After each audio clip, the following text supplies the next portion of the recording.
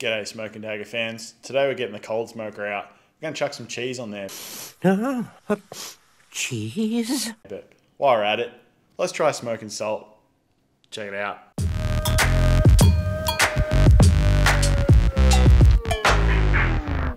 Alright folks, to get started you're going to need a fuel source. I'm using apple pellets today, but you can also use wood chips. Grab your cold smoker, here you can see mine, pretty simple piece of metal. Stack them all in, make sure they're nice and tight and dense. Next, we're going to grab a butane lighter and we're going to light one end of the pellets.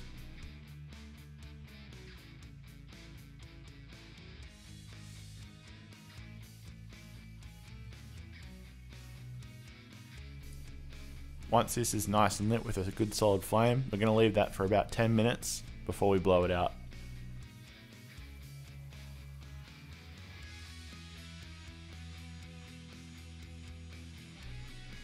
When you blow it out, this is what you're left with.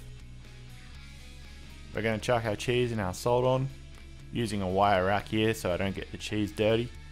We're going to leave this on for approximately 3 hours. Don't forget to give it a taste test at all points. Benefit of trying cheese and salt for the first time, there's no risk of botulism. Perfect for a beginner. You can really see that cheese take on a dark colour, the salt, it won't look much different.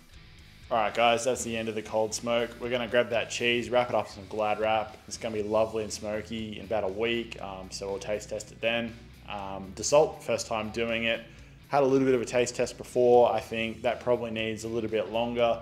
There are hints of smoke, but if I left that for, you know, maybe 12 hours, I think that would take your salt game to the next level. Worth a go at home, guys. Check it out.